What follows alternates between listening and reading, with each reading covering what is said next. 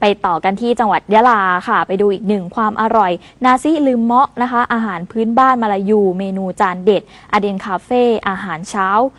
ค่ะ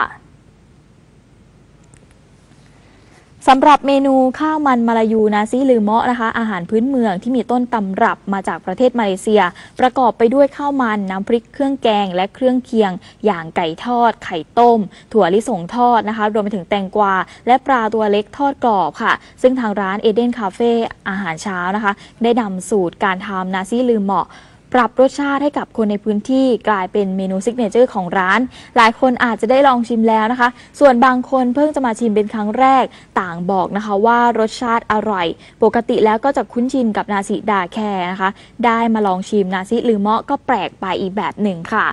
นอกจากนาซิลือเมาะแล้วครับ ที่นี่ก็ยังมีเมนูอาหารเช้าที่รสชาติอร่อยมากมาย อย่างเช่น นาซิดาแฆข้าวมันข้าวหมกปลาต้องโกโรตีขนมปังข้าวต้ม รวมทั้งกาแฟสดอย่างอเมริกาโน่โซดา signature ของร้าน ให้ได้รับประทานการเหมาะกับทุกวัย ทั้งผู้ใหญ่วัยรุ่นหนุ่มสาวเด็ก ๆ ที่จะพากันมาทั้งครอบครัว นั่งรับประทานอาหารกันที่ร้าน หรือจะซื้อกลับไปทานที่บ้านก็ได้ครับ